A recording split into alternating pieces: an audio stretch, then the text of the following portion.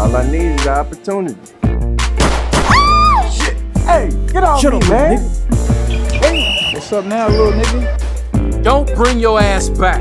I'm ready for anything you throw at me. Goodness! You too stupid. Man, you dumb. I told your ass not to move, and you leave. Feels like ain't nobody looking out for me no more.